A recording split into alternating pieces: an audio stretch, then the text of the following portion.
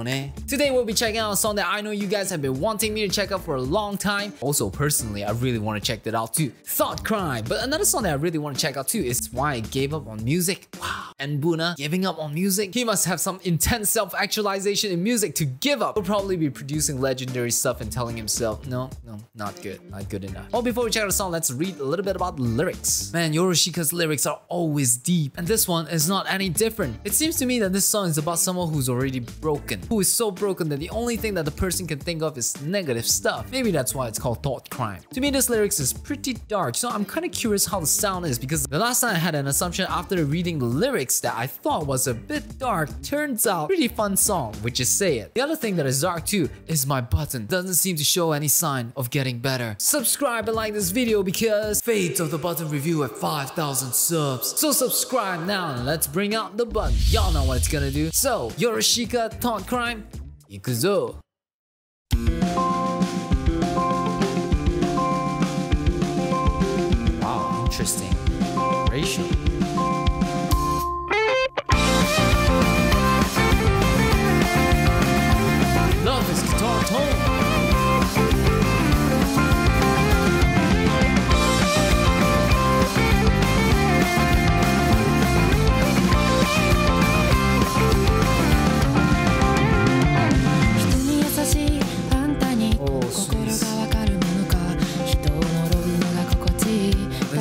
This is a voice closer to Haru Hisagi.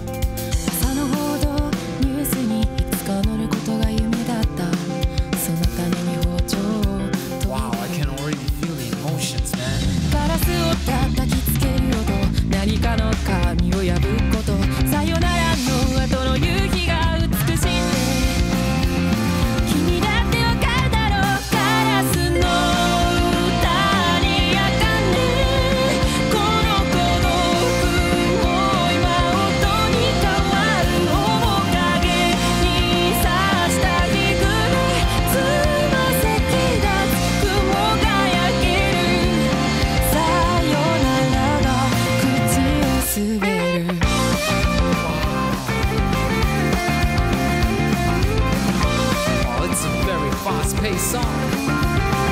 The chorus has so much notes.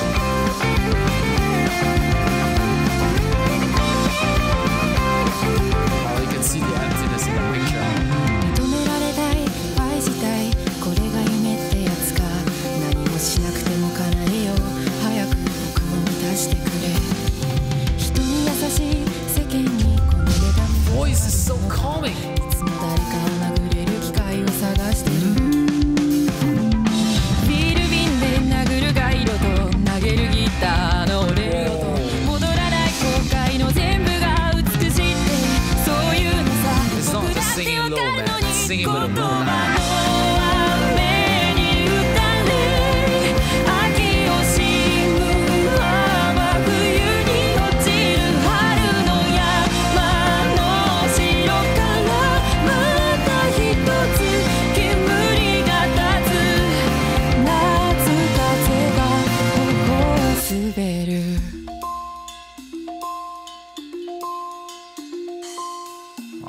definitely a very, very different feel に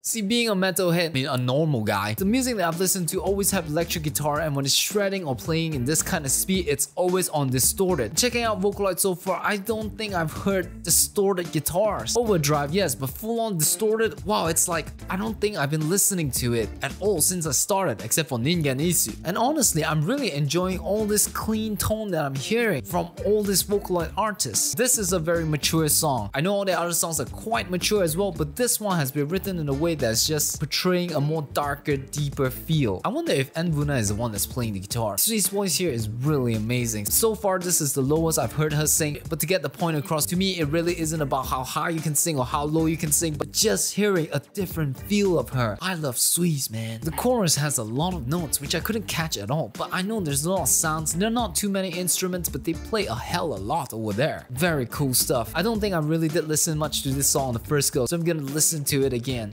Recommend me any other Japanese music that you think I should be checking out. Subscribe and like this video because Fate of the Button review at 5,000 subs. So subscribe now. If you want to support me on this channel, go to patreon.com slash ABAJapan and stuff us up with nigiri, lotus with ramen, or fatten us with sushi. That's where we get the energy to make you a guaranteed Japanese music reaction of your recommendation. If you're into Japanese culture, then go to ABAJapan.com because maintaining a website is difficult. And until then, I'll see you again when we check out another Japanese music.